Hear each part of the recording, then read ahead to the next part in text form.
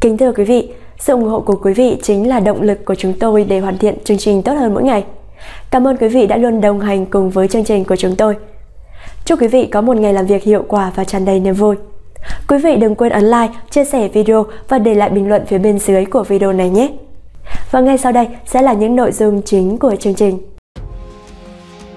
Nóng, tân chủ tịch Quốc hội tuyên thệ nhậm chức. Chủ tịch Bạc Liêu đưa ra khỏi bộ máy cán bộ có nhiều dư luận tiêu cực. Đà Nẵng theo chân đội tuần tra đi xử lý karaoke khủng bố. Oái oăm giám đốc, trưởng phòng đi làm không lương, xin nghỉ không cho. Anh ngầm chỉ trích Trung Quốc kêu gọi cờ bảy gia tăng đối phó Bắc Kinh.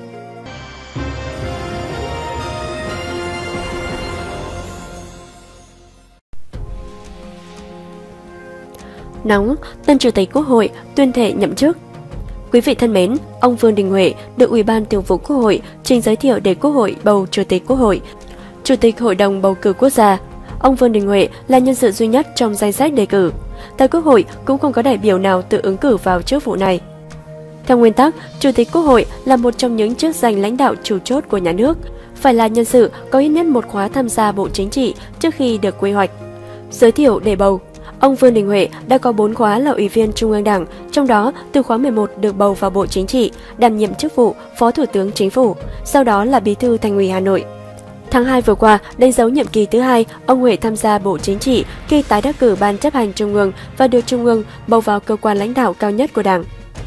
Theo quy hoạch nhân sự, ông Vương Đình Huệ cũng đã được cơ cấu đưa vào danh sách giới thiệu ứng cử đại biểu Quốc hội khóa mới thuộc khối cơ quan Quốc hội. Trong buổi sáng, Ủy viên Thường vụ Quốc hội đã báo cáo kết quả thảo luận tại đoàn và giải trình tiếp thu ý kiến của các đại biểu và nhân sự được dự kiến. Sau đó, Quốc hội thảo luận, biểu quyết thông qua danh sách ghi tên ông Vương Đình Huệ và bỏ phiếu kín để bầu nhân sự này làm Chủ tịch Quốc hội, Chủ tịch Hội đồng bầu cử quốc gia. Ban kiểm phiếu làm việc và công bố kết quả kiểm phiếu ngay sau đó.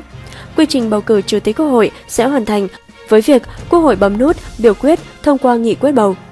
Tân Chủ tịch Quốc hội thực hiện nghi thức tuyên thệ nhậm chức theo quy định. Công tác nhân sự sẽ tiếp tục với việc Ủy ban Thường vụ Quốc hội trình miễn nhiệm một số Phó Chủ tịch Quốc hội. Quốc hội tiến hành bỏ phiếu kín để miễn nhiệm các Phó Chủ tịch bằng hình thức bỏ phiếu kín trong buổi chiều cùng ngày.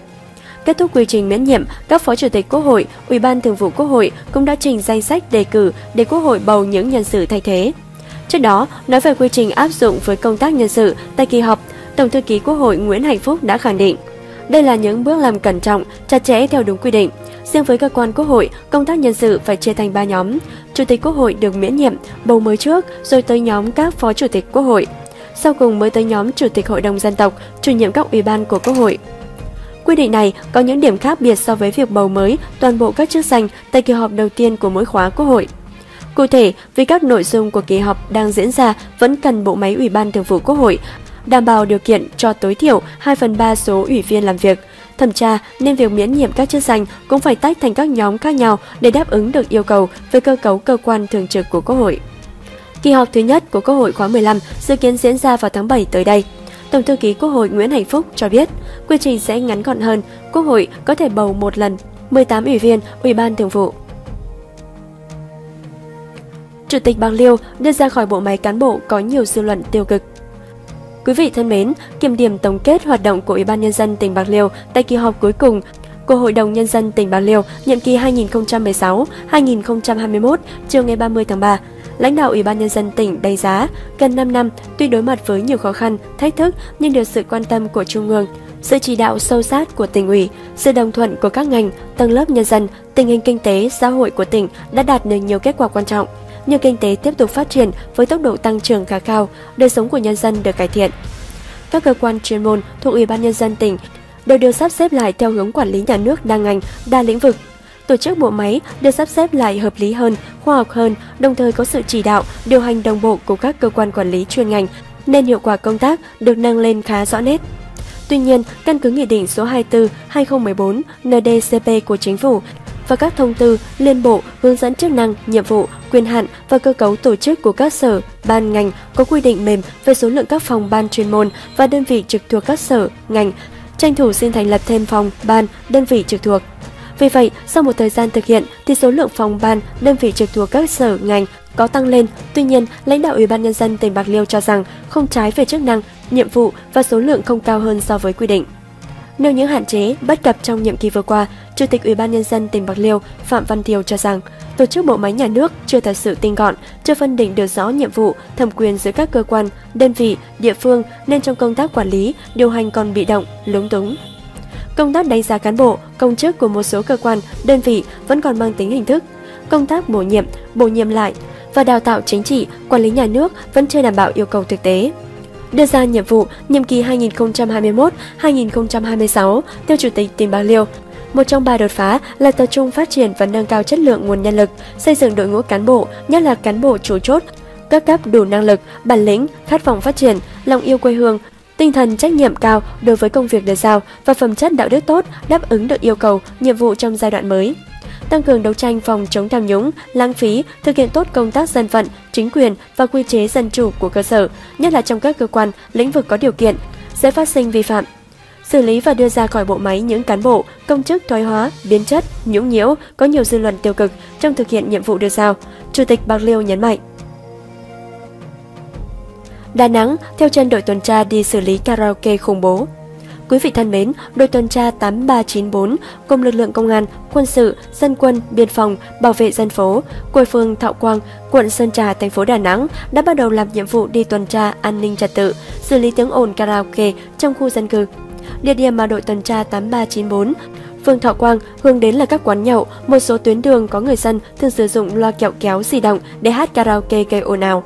Đội tuần tra tiếp tục di chuyển đến đường Trần Văn Khải, Tại một nhà dân, có ba thanh niên đang vừa nhậu vừa hát karaoke trước nhà, mở loa lớn. Đội tuần tra 8394 đã đến nhắc nhở ba thanh niên điều chỉnh giảm âm lượng để không ảnh hưởng đến những người xung quanh. Khi được đội tuần tra 8394 của phường nhắc nhở, ba thanh niên đã vui vẻ chấp hành và tắt nhạc luôn, không hát nữa. Đến một số tuyến đường khác, tại một quán nhậu bình dân trên đường Lê Tấn Trung, đội tuần tra đã gặp một nhóm thanh niên cũng vừa nhậu vừa hát, mở loa công suất lớn. Khi đội tuần tra đến, nhóm thanh niên liền tắt nhạc bọn em hát một tí cho vui và không hát quá 9 giờ 30 phút đâu. Một thanh niên trong nhóm nói. Đại diện đội tuần tra nhắc nhở nhóm thanh niên vặn nhỏ tiếng và không hát quá thời gian quy định là 22 giờ. Đại úy Nguyễn Thị Nhung, Phó trưởng Công an phường Thọ Quang cho biết, đội tuần tra 8394 thường xuyên đi tuần tra mỗi đêm, chia làm 2 ca từ 19 giờ đến 23 giờ và từ 23 giờ đến 2 giờ sáng. Lực lượng chức năng chủ yếu nhắc nhở người dân không hát karaoke, mở nhạc to gây ồn ào trong khu dân sau 22 giờ nếu không chấp hành sẽ thu loa. Những ngày qua, lực lượng đã nhắc nhở hàng chục trường hợp và thu ba la hát karaoke. Thời gian này chúng tôi chủ yếu nhắc nhở những người dân chứ chưa xử phạt. Khi được nhắc nhở, người dân đều chấp hành, không có hành vi chống đối. Tuy nhiên, với số lượng loa di động lớn trên khắp các tuyến phố, nếu như không có chế tài xử phạt thì cũng khó cho lực lượng chức năng. Đại úy Nhung nói. Trước vấn nạn loa kẹo kéo, mở nhạc to trong khu dân cư, thực hiện chỉ đạo của Ủy ban nhân dân thành phố, Ủy ban nhân dân phường Đại Hiên Đông đã thành lập tổ phản ứng nhanh xử lý tiếng ồn. Tổ có sự tham gia của lãnh đạo Ủy ban nhân dân phường, công an, dân quân, dân phòng thường xuyên đi kiểm tra hàng đêm, tiếp nhận phản ánh vấn nạn karaoke khủng bố qua trang Facebook, số điện thoại đường dây nóng của phường. Ông Cao Đình Hải, Chủ tịch Ủy ban nhân dân phường nại Hiên Đông cho biết, sau mấy ngày ra quân, người dân cơ bản đã chấp hành tốt, phố phường dần trật tự, bình yên. Không chỉ có các phường ở quận Sơn Trà, các địa phương khác trên địa bàn thành phố Đà Nẵng cũng đang có kế hoạch tăng cường kiểm tra, xử lý ô nhiễm tiếng ồn do mở nhạc, hát karaoke trong khu dân cư và tiến tới xử phạt trong ngày 1 tháng 6 khi chưa có quy định cụ thể. Đội bắt đầu di chuyển đến một số tuyến đường tập trung các quán nhậu như đường Lê Đức Thọ, Phan Văn Vinh, Nguyễn Trực, Trần Nhân Tông, Nguyễn Đăng Giai. Tuy nhiên, tại thời điểm đội tuần tra đi tuần, không có tình trạng hát karaoke ầm ĩ.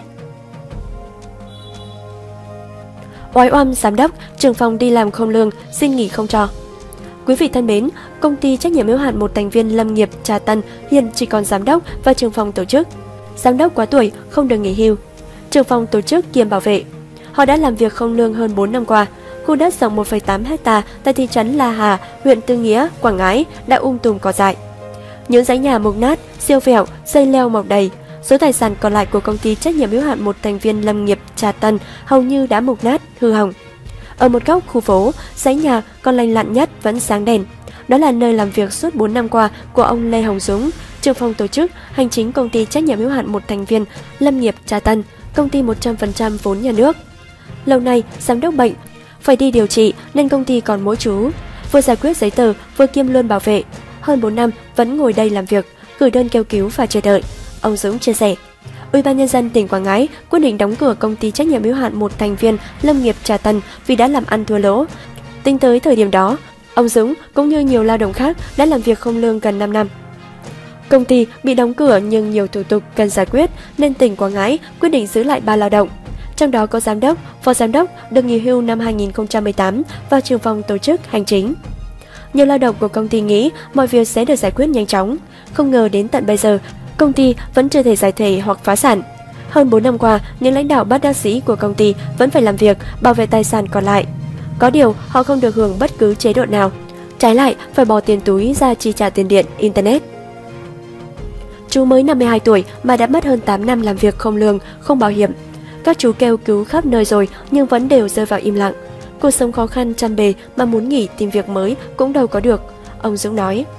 Ông Lê Tiến Dũng, giám đốc công ty trách nhiệm hữu hạn một thành viên lâm nghiệp Trà Tân khẳng định chắc nịch, ông sẽ kiện ra tòa nếu như không được giải quyết chế độ hưu. Theo ông Dũng, ông và trường phòng tổ chức, hành chính đã giữ lại làm việc nhưng không được trả lương. Riêng ông đã quá tuổi hưu được 4 năm nhưng xin nghỉ vẫn không được, không có chế độ bảo hiểm. Chúng tôi trích lương để đóng bảo hiểm. Vậy mà, quá tuổi hưu 4 năm rồi vẫn không được nghỉ, không có chế độ hưu. Nếu kiến nghị lần này của tôi mà không được giải quyết, tôi sẽ kiện ra tòa. Ông Dũng nhấn mạnh. Mới đây, trong văn bản gửi tỉnh ủy, Ủy ban nhân dân tỉnh Quảng Ngãi, ông Lê Tiến Dũng đã yêu cầu phải giải quyết chế độ lương, bảo hiểm cho lao động của công ty, đồng thời phải giải quyết cho ông nghỉ hưu theo đúng quy định.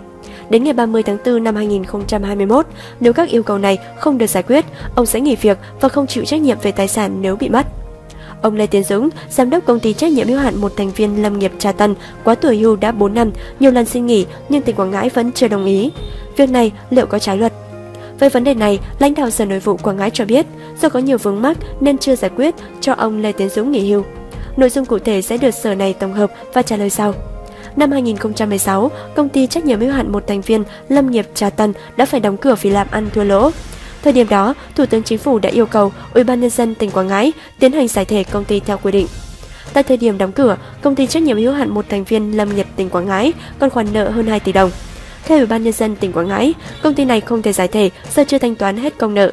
Tỉnh này đề nghị được chuyển từ hình thức giải thể sang phá sản đối với công ty trách nhiệm hữu hạn một thành viên Lâm nghiệp Trà Tân. Đề nghị này của tỉnh Quảng Ngãi vẫn chưa được Trung ương đồng ý. Do đó, tỉnh Quảng Ngãi đã giữ lại một số lao động của công ty trong suốt 4 năm qua. Anh ngầm chỉ trích Trung Quốc kêu gọi G7 gia tăng đối phó Bắc Kinh.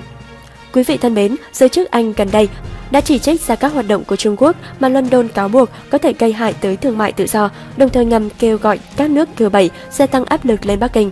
Anh cho biết nước này sẽ thúc đẩy các nước nhóm G7 trong các cuộc trao đổi diễn ra vào ngày 31 tháng 3 để hành động nhiều hơn nữa trong nỗ lực ngăn chặn các hành vi gây hại trong thương mại, như việc sử dụng lao động cưỡng bức hoặc đánh cắp quyền sở hữu trí tuệ, hoặc một động thái ngầm kêu gọi cách tiếp cận cứng rắn hơn nữa với Trung Quốc trong tương lai.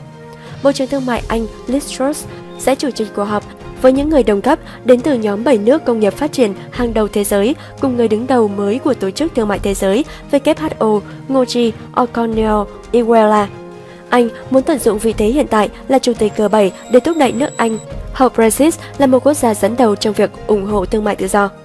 Mọi người không thể tin cậy vào thương mại tự do nếu nó không công bằng. Niềm tin của dư luận đã bị xói mòn bởi các động thái kề hại, từ việc sử dụng lao động cưỡng bức tới môi trường bị tác động tiêu cực và hành vi đánh cắp tài sản sở hữu trí tuệ. Bà Truss cho hay. Dù bà Truss không trực tiếp đề cập tới vấn đề Trung Quốc trong phát ngôn, nhưng vấn đề mà bà nêu ra đều là những điều mà anh đã từng lên tiếng. Quan ngại về hành vi của Trung Quốc trong thời gian qua. Trung Quốc nhiều lần bác bỏ cáo buộc đánh cắp tài sản sở hữu trí tuệ, gây hại tới môi trường hoặc buôn bán hàng hóa được làm ra từ lao động cưỡng bức. Kể từ khi rời Liên minh châu Âu EU và đặt tương lai kinh tế của mình vào thương mại toàn cầu, anh đã tăng cường chỉ trích các hoạt động thương mại của Trung Quốc. Trong khi đó, các nước G7 khác, trong đó có Mỹ, cũng đồng tình với sự cần thiết của việc cải tổ WHO và hành động trước tầm ảnh hưởng đang gia tăng trên toàn cầu của Trung Quốc.